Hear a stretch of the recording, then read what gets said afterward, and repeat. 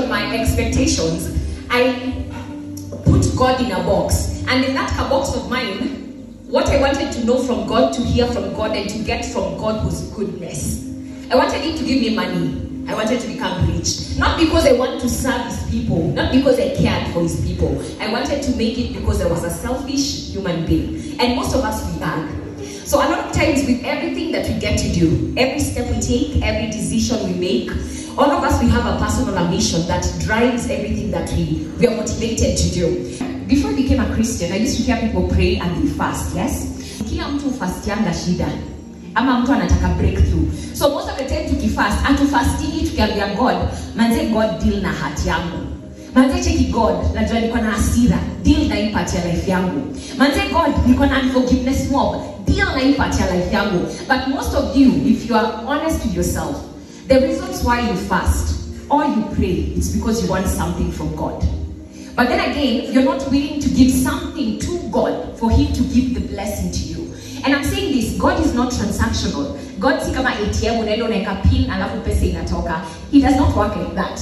One thing I've come to learn about God, eh, if you want God to intervene in your life, if you want God to walk with you, if you want God to step into your circumstances, you have to be willing to allow Him to do so. God is not a dictator. Most of us sometimes we think the idea of who God is and what God can do is based on um, his dictatorship. So tunasema ah, huyu God anasema tusikakue washirati. Huyu mse ni mtiaji. Huyu mse understand. Huyu mse understand hii flesh. But then again now we are forgetting that he's the creator of this flesh. He's the creator of our thoughts. He's the creator of everything that we are. So how can we say that God does not understand us and is the one who created us? It does not make any sense. We all have something we're struggling with, and sometimes the only reason why you're struggling with something is because you don't have the necessary information to get out of that thing. And for me, that is the same thing that was happening. I honestly never saw a version of myself being sober, living a sober life, leading a sober life, and actually even speaking for Christ and being a champion for the things of the kingdom.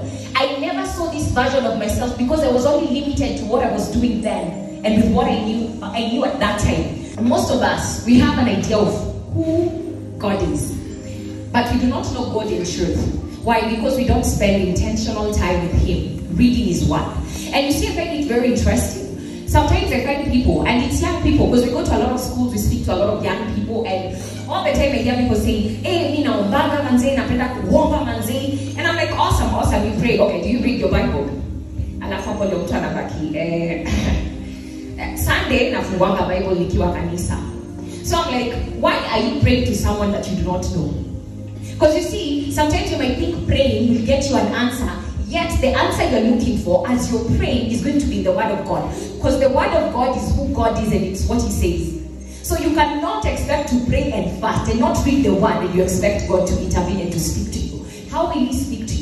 Because most people don't get to hear God verbally. There are some people who've had an experience, they've been able to hear God. Like literally wamemsikia mtu anakwenda anasema I had a voice speaking to me and that person knew it was God. But not all of us get to experience that.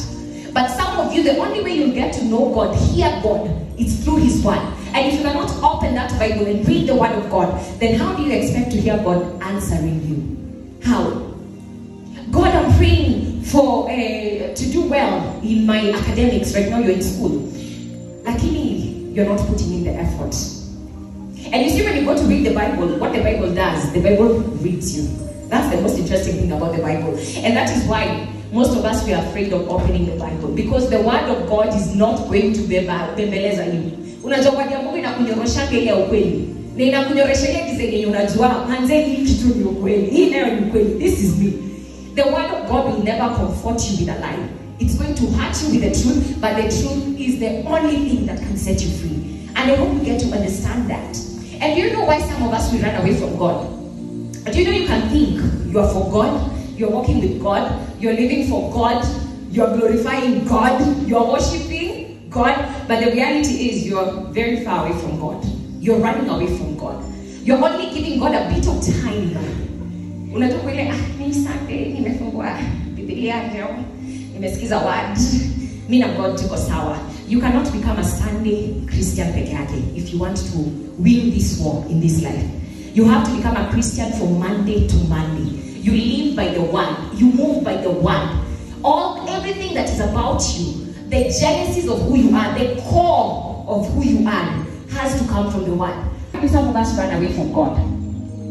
When things get tough, we decide to run away from God. When our expectations are not met, we decide to run away from God. When we are secretly envious about other people, we decide to run away from God.